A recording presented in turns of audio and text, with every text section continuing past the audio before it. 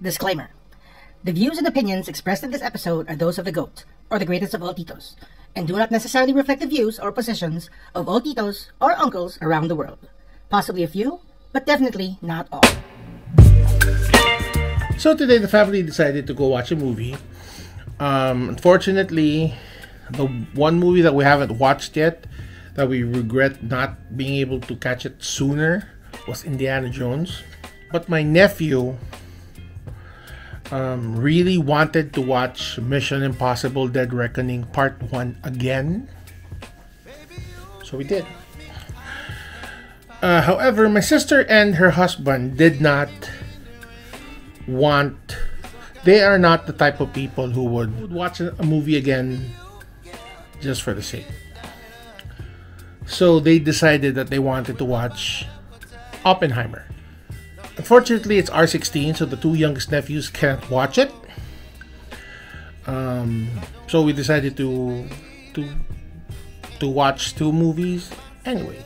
My sister and her husband watching Oppenheimer, while the rest of us would watch Mission Impossible, which I don't mind honestly because I like the movie. So the idea is to look for a time slot where both groups would be able to watch it at the same time, and we agreed to watch in Alabang Town Center. And it's interesting because the last time I've been into the theater of Alabang Town Center was at least 16 years ago. Um, and a lot has changed. I don't know if it's an if it's an Ayala Mall thing, but a lot of stores have closed, especially in the cinema area. Um, a little history lesson. Before it, before the Ayalas took over that that side of the malls, it was called, it was named Alabang Twin Cinema. Back in the 80s, it was named Alabang Twin Cinema. And obviously, because of the name, it was just two uh, movie theaters.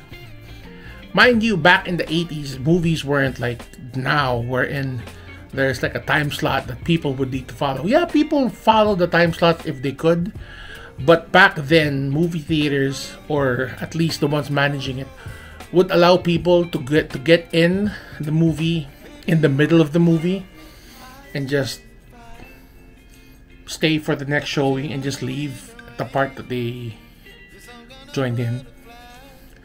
So essentially, back then, you could actually watch a movie for as many times as you want, as long as you just don't leave. There wasn't any guaranteed seating back then. So if there is like a hit movie, you you be sure that people would be sitting down the floor, on the aisle, standing up at the back, basically siksikan talaga. Good thing times have changed. Now you buy, it's a guaranteed seating, then you buy a, per- a particular slot. So you get to watch it from start to finish ng buo, ng maayos. Anyway, going back. So, somewhere in the 90s, that was when the Ayalas started buying plots of land, buying certain areas, and slowly developing their malls, their Ayala malls.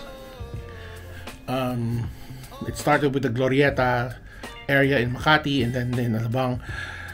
And because Alabang Twin Cinema was so um, the, the the the acronym was so famous, Ayala decided to keep it, and they kept it. They called it ATC, but this time they called it Alabang Town Center. So after Twin Cinema, uh, ATC they they decided to add more theaters, and they essentially made it into like a five door cinema. So they're like cinemas one to five. I I I, dis- I distinctly remember that. And then, um, as part of my church's history, Citygate, there was a short period wherein we would rent. I remember Cinema 5 in the morning because sarado pa naman ang sinema ng oras. We would rent it in the morning and use it as a church, as our church. Um, so, yeah, so, so, yeah, fast forward to today. I thought there were still five cinemas. To my surprise, there was out of the five cinemas, tatlo na lang yung operational. Uh, what used to be Cinema 5 is now permanently rented out to a church, as I was told. I forgot what church that was. And as I was like looking after the movie, we were just like seated around the, the cinema area, just waiting for my my sister and her husband to come out because uh, Oppenheimer is a three-hour movie, while Mission Impossible was like a two hours and forty-five minutes. So as I was seated in the corner, just looking around, I realized the ticket booth where you would buy the tickets now used to be where Cinema 4 was. So now I was counting. Town Center only now only has three operating cinemas. Mind blown. But it's kind of sad to be completely honest. Uh, feeling ko like the old cinemas ng Ayala, they're not taking care of it that much anymore. Greenbelt 3 is not as luxurious as it used to be. Um, yeah, the Greenbelt 3 already has like 4DX and stuff like that. But when you go into the mall, you could you could you could see its age. Uh, Greenbelt 3, kita-kita doon sa banyo nila, sa tiles into the going to the cinema area. And also now with town center.